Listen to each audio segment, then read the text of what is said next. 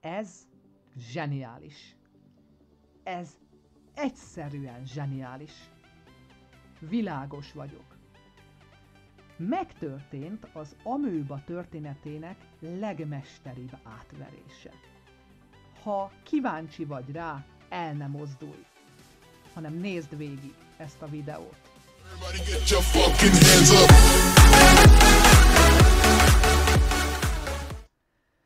Na most, mielőtt belevágnánk, gyorsan esünk túl a kötelezőkön, tedd meg, hogy feliratkozol a csatornámra, illetve egy lájkot csapas.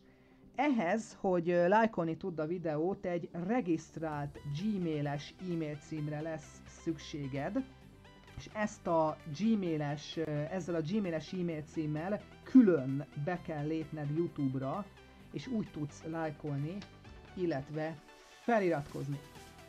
Na de konkrétan miről is van szó? Srácok, megtörtént a Gomoku történetének legnagyobb átverése. Én körülbelül 15 éve amőbázok, de ez nekem álmomba se jutott volna eszembe. Következő történt. Körülbelül két héttel ezelőtt volt egy videóm, az év legszánalmasabb és legbutább baklövése címmel, és a lényeg az, hogy ebben az előző videómban, amit majd ezen videó után néz meg, tehát ebben a videóban volt szó egy Kisajtollak nevű egyénről, akiről én azt állítottam, hogy valószínűleg programot használ, tehát hogy csal. Na most azt e, tudni kell, hogy ezzel a kisajtollak névvel Mr. Rage engem privátban megkeresett, és a következő kérdést tette fel nekem.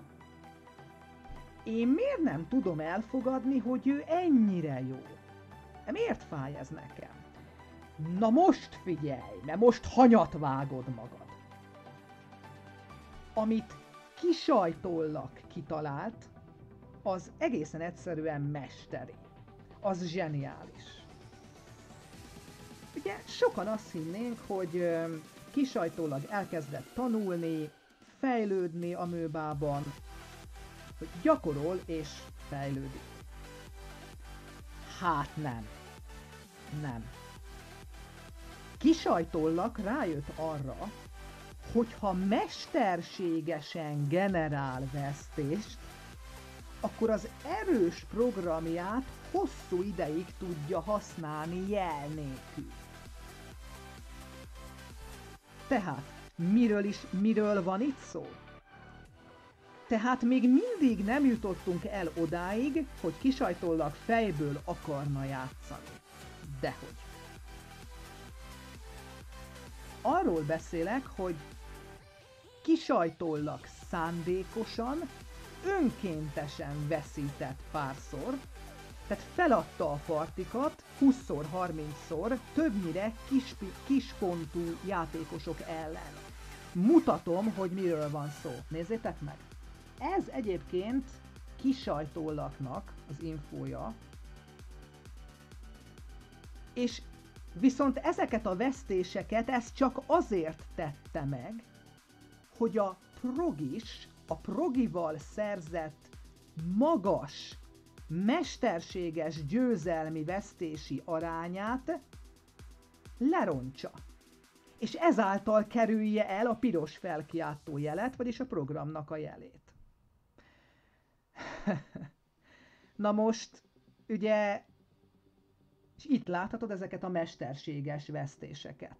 Látod? Folyamatosan vesztett. Na most elárulom neked, hogyha valaki nagymester szinten van amőbában, tehát ilyen 490, 500 vagy annál több pontja van, akkor elárulom neked, hogy lehet akármilyen rossz formában egy nagymester ennyiszer ö, ennyire hát ö, szerény pontú játékosok ellen nem veszít. Tehát ez egy mesterséges lerontása a pontnak. És megkérdezheted, hogy én ezt honnan tudom. Szeretném megmutatni nektek Ásznak az infóját, és Ász infójában itt láthatod, hogy Ászt kisajtóllak, tehát ez a játékos kisajtóllak 4-0-ra megverte. Ász egyébként 700 pontos nagymester, fejből játszik, és Ász az oldal három legerősebb játékosa között simán ott van. Tehát Ász tényleg nagyon jó, és ő fejből játszik. Tehát Ászt kisajtólag simán megverte 4-0-ra, majd közvetlenül azután, hogy a 700 pontos nagymestert, itt láthatod, hogy 722 pontja volt, és közvetlenül ez után kisajtólag, miután Ászt megverte, ezután kisajtólag folyamatosan elkezdett veszíteni 200 pont alatti játékosok ellen is. Srácok, nem furcsa ez egy picit? Na most nyilván egy emberi játékos az nem így játszik. Ha én például képes vagyok elverni egy 700 pontos nagymestert, utána alig ha fogok 20-szor egymás után veszíteni 50-100 pontos játékosok ellen. Ugye? Tehát ez azért egy picit furcsa. Tehát mindebből az következik, hogy kisajtólag szándékosan kellett, hogy veszítsen a szerénye pontú játékosok ellen, direkt azért, hogy a győzelmi vesztési arányát így mesterségesen, szándékosan lejjebb nyomja, és ezáltal elkerülje a programjelet. Tehát nézd meg! Ha megnézed, akkor ugye ez volt az infója, tehát itt 20 pontja van. Majd egyébként egy napra rá, zsupsz, 6.30 Na most elárulom nektek, hogy ez elárulom nektek, hogy ez ahhoz, ez ahhoz hasonlít, mintha kisajtollak sakban a világbajnokot 3-0-ra elverné, de egy 1500-as élőpontú haladótó meg kikapna. Most elmondom nektek, hogy ez lehetetlen. Ez sosem fordulna elő, ha fejből tolná. És nem lenne leplezni valója. Tehát most viszont ugye te, kedves nézőm, kérdezheted, hogy de mi szükség volt erre a videóra? Miért csináltam meg? Na most, tudnotok kell, hogy engem Mr. Rage játéka alapvetően nem érdekel. Tehát engem az nem érdekel, hogyha ő csalással szerzi meg a pontjait.